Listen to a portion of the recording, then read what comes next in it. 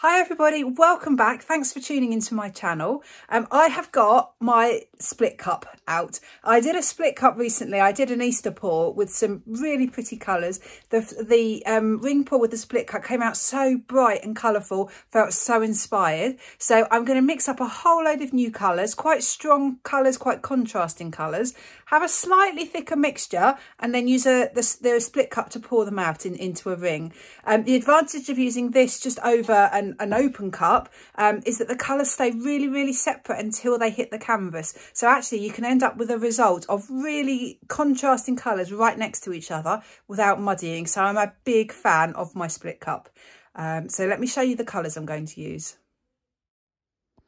really really pretty colours so I've got primary cyan which is a really bright blue by Amsterdam I've got light rose I've got permanent red violet I've got sky blue light I have ultramarine violet and quinacridone rose all by Amsterdam two Pebeo colours so there's the iridescent blue green the iridescent green yellow so there'll be a bit of sparkle a bit of shimmer in the pour and then some white. My plan is to put just a little bit of white in between the layers. So where's, where's my split cup gone? So I will fill each chamber half full, put a little dash of white and then put another colour on top. So I just want to know how what that would look like at, oh, as it comes out onto the canvas.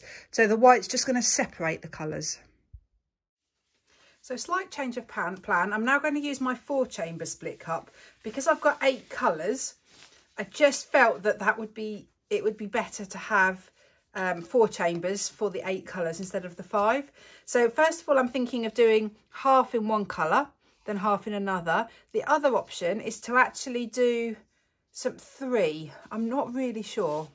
Um, so the colours I put in very first, they're going to be at the bottom of the cup. They're the colours that are going to come out last. So I want my favourite colours at the bottom because then they're going to be in the centre of the, uh, the pour. And my four favourites are these colours here. So separating the pink, separating the iridescence, I'm going to put a little bit of each colour in, in the bottom. Um, now, just to show you the consistency, it's mixed with PVA glue and water pouring medium. So for each, each tub here, I mix 50 grams of pouring medium, 25 grams of paint, so two to one. And then I've added about five grams of water to each, more to the iridescence. So it's kind of two to one to a fifth. Um, and that just gives, it's runny, it pours really, it flows really well, but it does leave a slight trace. So there is a bit of thickness there. So this is much thicker than when I've done it before with um, more of the Dutch pour consistency. So I'm still a little bit undecided on how to put the white in. So I think I actually, I probably only did a quarter at the bottom there. Just going to pour some in. And it doesn't even have to be the same amount at this point.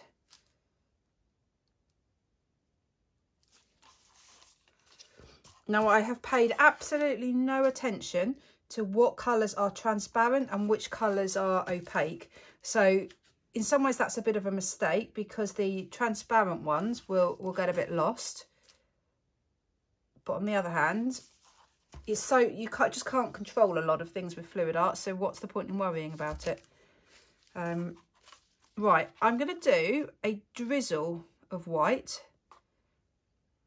So I'm just sort of layering it over the top of that, the colour that's, that's in there at the moment.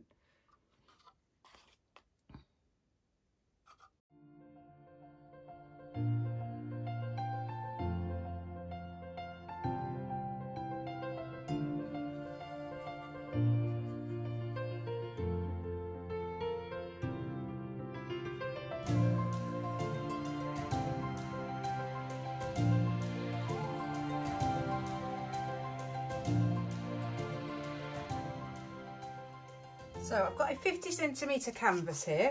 So I'm going to ring pour into the centre um, and I will probably end up twisting around a little bit just to create some different effects. So if I just get the paint towards the edge,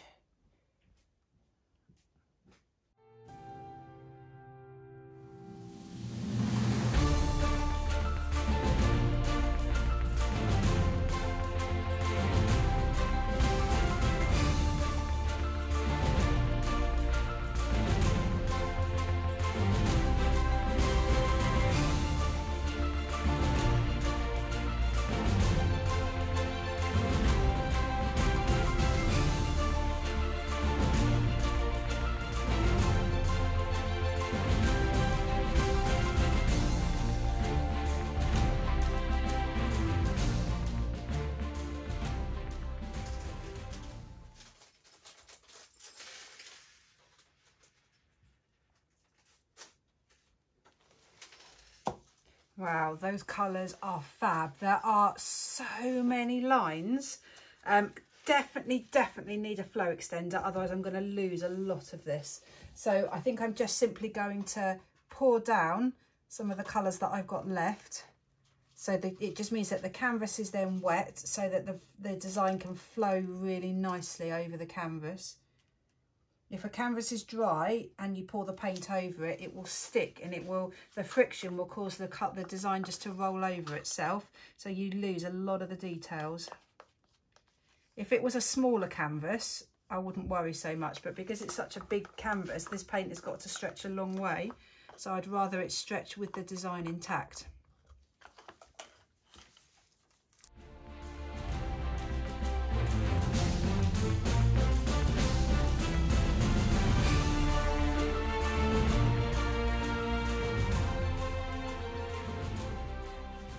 Know this looks really strange at the moment, but if you can imagine that all of this around the edge is not going to show, it's going to be tipped off. So it's going to stretch out that pattern in the middle.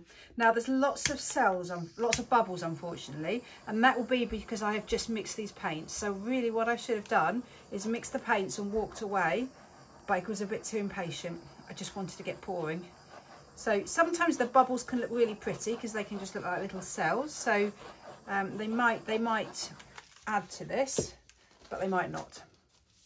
So I'm just going to start tilting this out. So I want to keep the design on the canvas to start with. So I'm just going to stretch this out in all directions. Now I'm hoping you can see that that puddle, that the ring pour is pushing against the flow extender.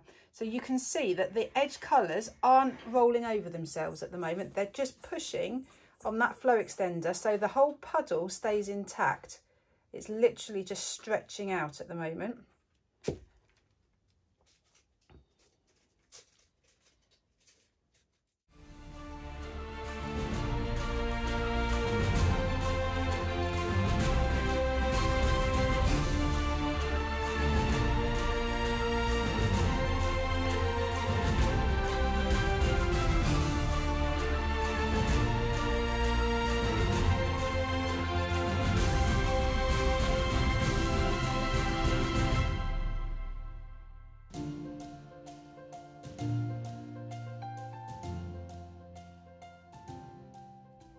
So I've stretched that out really pretty well now. So it's covering most of the cor most of the canvas apart from the corners. I'm just going to give it another torch. So you can see in the centre there where I had um, a little blob of paint, a little lump in there, it's distorted the pattern. So it's best to try and get the, the blobs out before you finish, before you finish your final tilt because I can work on that if I'm not happy with it.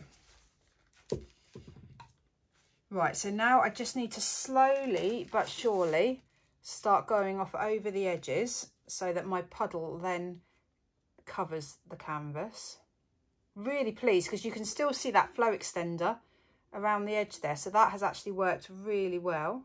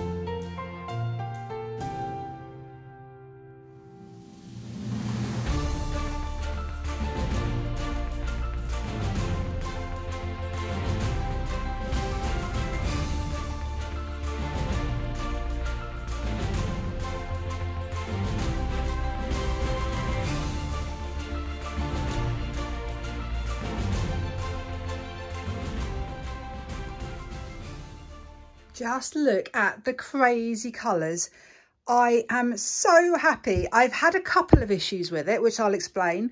Um, but the overall effect, the overall result, I am loving because you've got, you haven't got muddying. You've got every single colour. You have got literally hundreds and hundreds of beautiful, beautiful lines.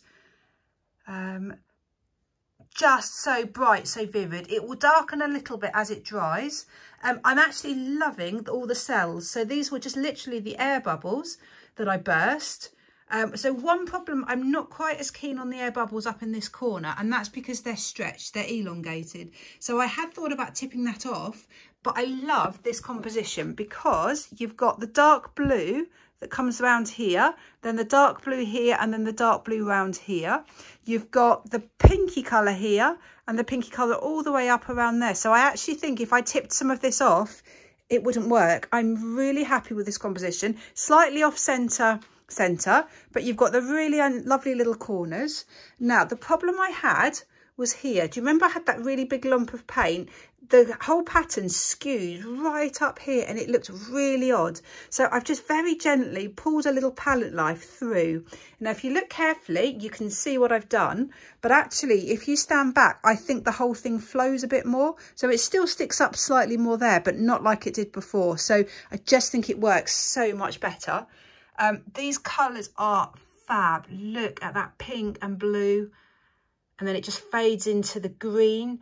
Now you can see little tiny bits of the white, but not much. So I actually think I got the white right. If I hadn't have added the white, it might have been a bit brighter. You've got a bit of pasteliness around here. So I think the white has just, just not dulled it, but just maybe made it slightly more pastely. But actually, as this dries, it will go darker. So I actually think that will work really well. So really happy, really excited for this to, to see this dry now.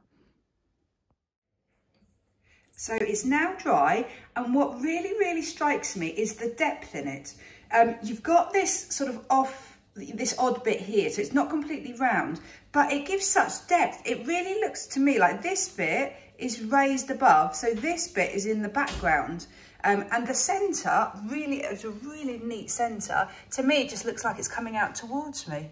Um, it's dried beautifully, really pretty cells, really pretty lines, really pretty colours. Really happy with it. The consistency of the paint was spot on because this is totally smooth. It's lovely. If you go too thick with the paint, often you get ridges um, where the you where the different consistencies, the different paints meet, but there aren't any. It's just totally, totally smooth. Um, and then the best bit, if I show you in the light, it comes alive because you can see that iridescent green in the centre. It's just beautiful. It's really shiny, really iridescent.